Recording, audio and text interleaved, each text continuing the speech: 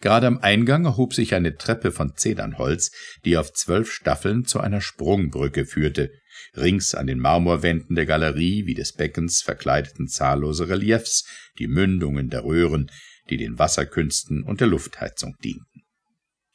Ohne ein Wort legte das Weib das Badegerät auf die weichen Kissen und Teppiche, die den Boden der Galerie bedeckten, und wandte sich zur Tür. Woher bist du mir bekannt? fragte die Fürstin sie nachdenklich betrachtend. Wie lange bist du hier? Seit acht Tagen. Und sie ergriff die Türe. Wie lange dienst du, Cassiodor? Ich diene von jeher der Fürstin Gotelindis.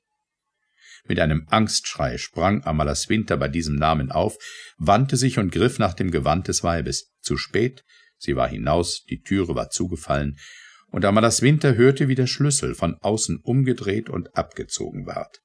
Umsonst suchte ihr Auge nach einem anderen Ausgang. Da überkam ein ungeheures, unbekanntes Grauen die Königin. Sie fühlte, dass sie furchtbar getäuscht, dass hier ein verderbliches Geheimnis verborgen sei. Angst, unsägliche Angst fiel auf ihr Herz. Flucht, Flucht aus diesem Raum war ihr einziger Gedanke aber keine Flucht schien möglich. Die Türe war von innen jetzt nur eine dicke Marmortafel, wie die zur rechten und linken, nicht mit einer Nadel war in ihre Fugen zu dringen. Verzweifelnd ließ sie die Blicke rings an der Wand der Galerie kreisen, nur die Tritonen und Delfine starrten ihr entgegen.